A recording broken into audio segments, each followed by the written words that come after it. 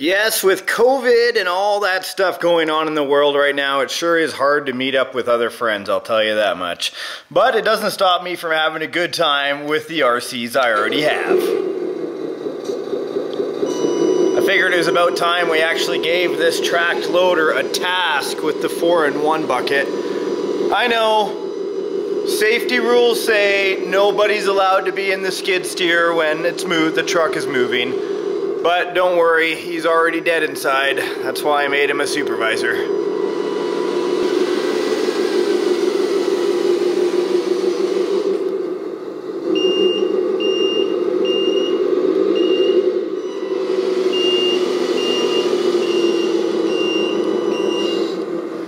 The task is simple.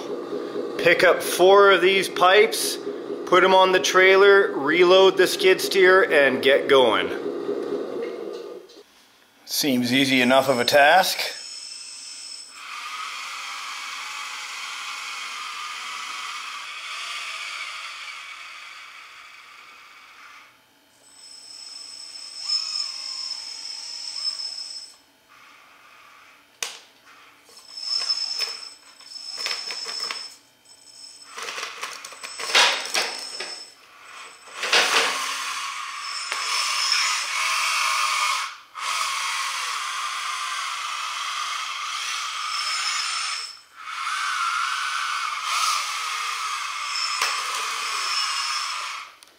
And we'll come around to the pipes here. We'll break them up first.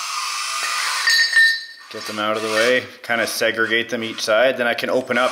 Here I'll go sideways so you can see I can kind of open up the bucket there and kind of come down and then just kind of angle it and then clamp down on the on the pipe itself. And then up it goes. Pretty cool, hey? Beautiful.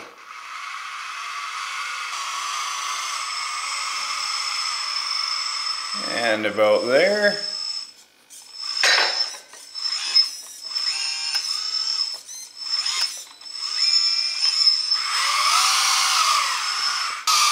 So in the last episode, I showed that I switched out the dual ESCs, the dual speed controllers for the motors, for a single uh, 2x5 um, Sabertooth dual motor controller is basically what it is.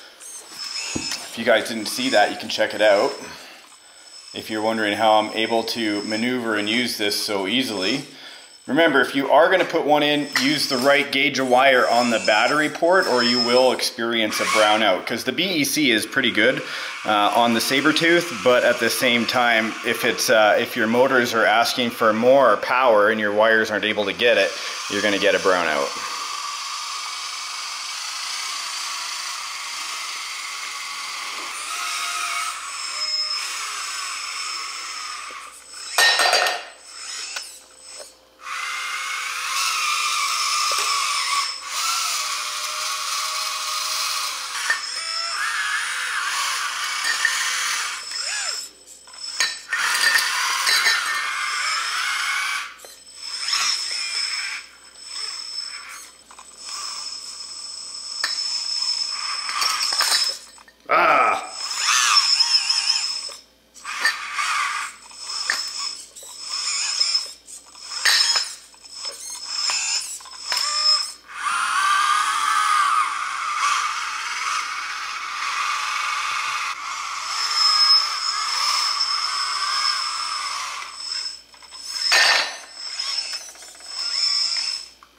Reminds me of the uh, or, uh, construction simulator I'm playing on Xbox right now. I think it's number three, where you get to do all these different construction things.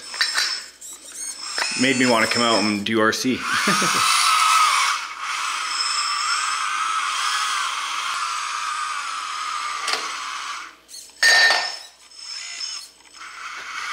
okay, now to get back on the truck.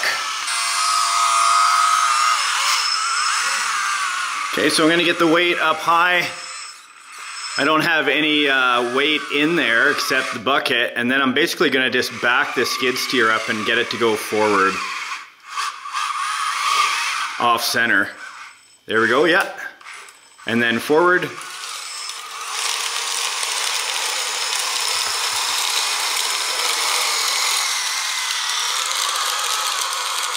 Creative ways to get your skid steer back on the truck. See if I can get it lined up here. Just turning around and then just basically pushing down on the bucket while backing up at the same time. Oh, I slid. Oh, my bad. There we go. Oh, it ain't easy, folks. The realism of this.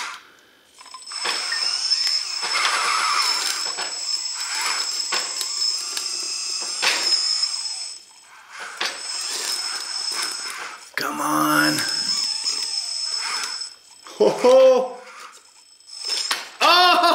I gonna flip it forward? Look at this, guys.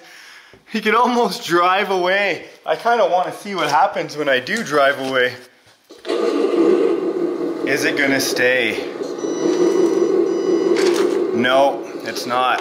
I wonder if I can still save it. Didn't go as smooth as it did yesterday, did it? fully extended on that bucket there. There we go. That's okay. Doesn't always work on the first try. Hey oh, almost.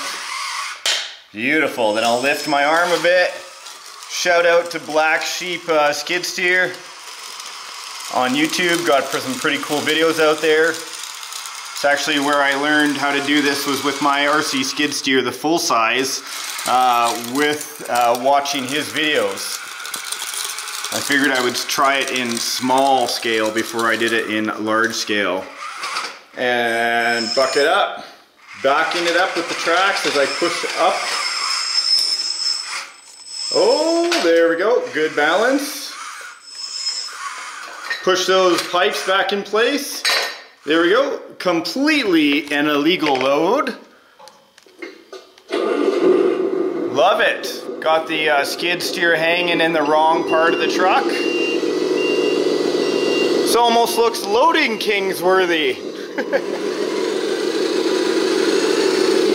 Man, it's too bad about COVID and all that stuff, but you know what? RC continues to play on.